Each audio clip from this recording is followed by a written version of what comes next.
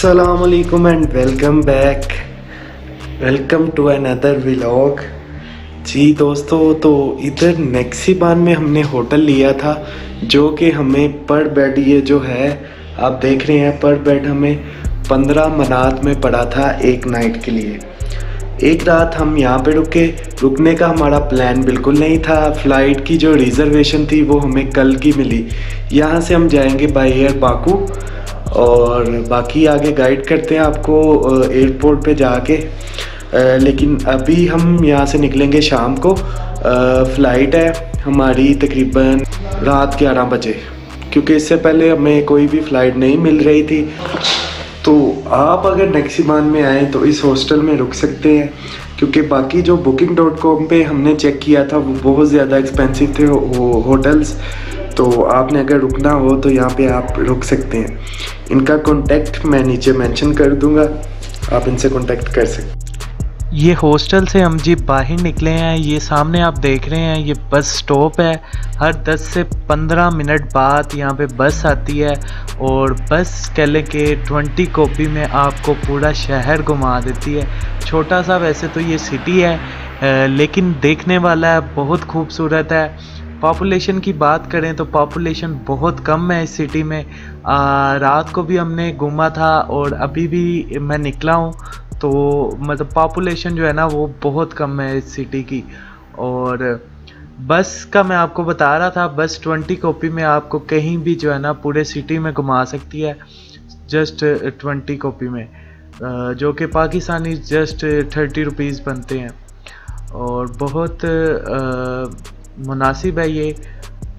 जैसा कि पीछे मैंने बताया रात हमने इस हॉस्टल में गुजारी और उसके बाद जी हम एयरपोर्ट की तरफ़ रवाना हुए।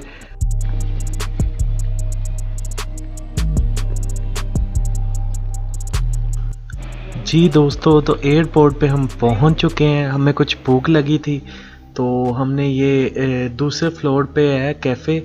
वहाँ पे हमने ये लगवाया आ, ये आलू और कोफ्ता है। इसके अलावा ये चिकन था और कलेजी टाइप थी। और जायका, आपको पता है, थोड़े पीखे होते हैं सालन, लेकिन हमने गुजारा किया, खाए। टिकट की अगर हम बात करें तो जब हमने बॉर्डर क्रॉस किया था तो टैक्सी वाले ने ही हमें वहाँ से टिकट बुक करवा के दी थी। वहाँ आप किसी भी टैक्सी वाले को बोल सकते हैं जब आप हॉस्टल तक आएँ।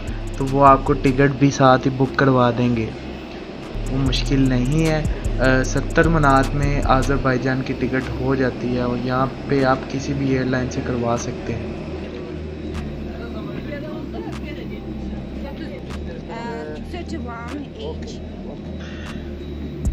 ले जी, ये जहाज़ है, अंदर से आज़रबाईजान की एयरलाइन है। काफ़ी बड़ा जहाज़ था।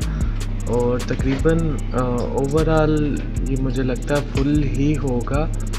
और ट्वेंटी वन एज मेरी सीट है। लेट सी देखते हैं कि कौन सी वाली सीट मिलती है हमें।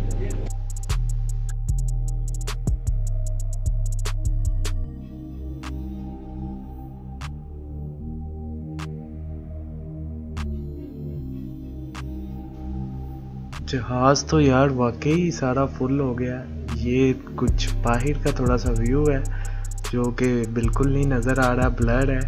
तो इसका भी कोई सोल्यूशन निकालेंगे। तो मेरा कैमरा बिल्कुल भी फोकस नहीं कर रहा। और ये रेयर होस्टर्स जा रही हैं जी। और ये कुछ आज़रबाईजान आज़रबाईजान एयरलाइन की कुछ इकदाम हैं जो कि हम कभी नहीं पढ़ते हैं।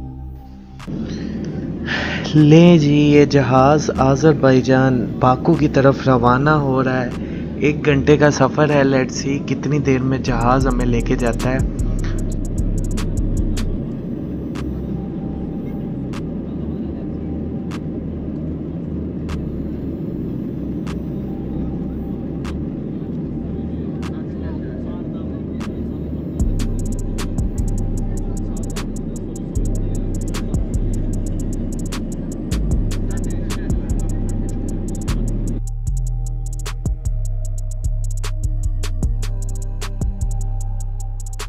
ले दोस्तों, पूरे 45 मिनट बाद ये जहाज़ लैंड हो गया।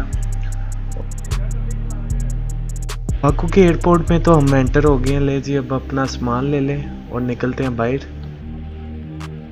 ये नॉर्थ टर्मिनल अराइवल है और सामने इसके बिल्कुल इंटरनेशनल टर्मिनल है जो कि बहुत ज़्यादा खूबसूरत है। ये थोड़ा सिंपल था। ये इंटरनेशनल टर्मिनल के कुछ बाहर के मनाजिर हैं। सर्दी बहुत ज़्यादा है। ये देखें आप, हवा बहुत तेज़ चल रही है इधर। उतरते ही जैकेट्स वगैरह हमने कस लिए हैं। और अभी होटल बुक किया हुआ है, उधर चलते हैं। एक जो बहुत अच्छी बात एयरपोर्ट में जो वाईफाई बिल्कुल फ्री था, ये बाहर निकल के हमने टैक्सी ली जो कि ट्वेंटी फाइव मनाद में हो गई। और हमें जो है वो होटल तक ले गई। लेकिन अगर आपके पास बोल्ट या ऊबर की एप्लीकेशन है तो इससे भी ज़्यादा आपकी कम हो सकती है। हमारे पास सिम कार्ड नहीं था, क्योंकि आज़रबाईजान की ऊबर की एप्लीकेशन अलग से करनी पड़ती है। बाकी की जो डिटेल्स हैं आज़रबाईजान की, वो मैं आप वीडियोस में बताऊँगा। अपने एपिसोड में इस वीडियो में ख़त्म करता हूँ और बहुत सारी गलतियाँ हैं मेरे, ये जो मैंने कैप्चर्स की हैं वीडियोस उम्मीद करता हूँ आगे आने वाली जो वीडियोस हैं वो बेहतर होंगी और आप इंजॉय करेंगे। अभी के लिए अल्लाह हाफिज़, मिलते हैं अगली वीडियो में। और सब्सक्राइब करना मत भूलिएगा।